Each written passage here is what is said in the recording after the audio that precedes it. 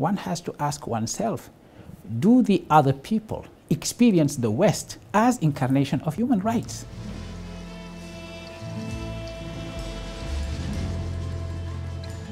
It is true that uh, um, the West has at one point presented itself as uh, a really embodiment of universality, universality of uh, its own political institutions, universality of modern science, which is a fact, uh, universality of human rights, etc.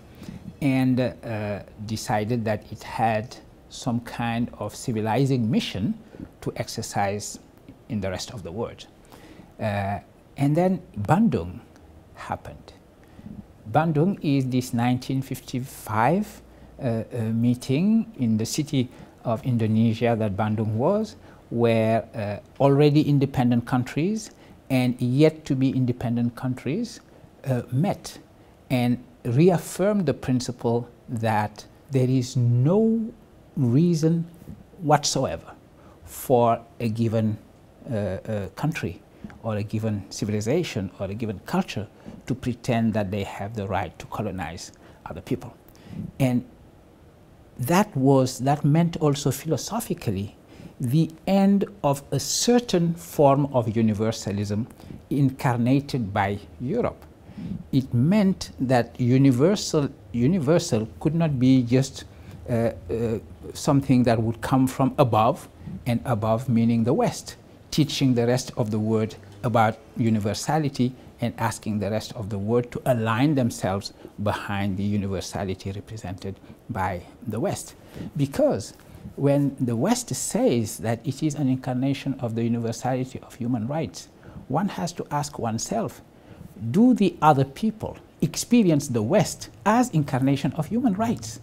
In fact, what is the experience that colonized people have of Western colonization? Did they see the universal uh, and the generosity of logic and rationality and respect for human life come into their country? Or did they see someone who exported brutality outside and pretended to be the incarnation of civility inside its own borders?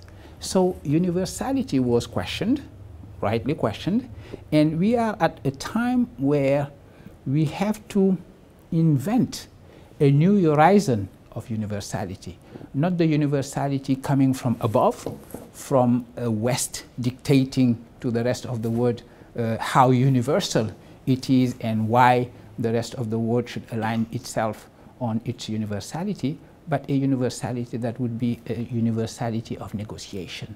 So the um, pretension to be uh, the incarnation of the universal is de facto uh, uh, an exclusion of, of, of other. It looks like uh, it is a competition for uh, the representation of the universal and, uh, and not an inclusive consideration of what universality should truly be.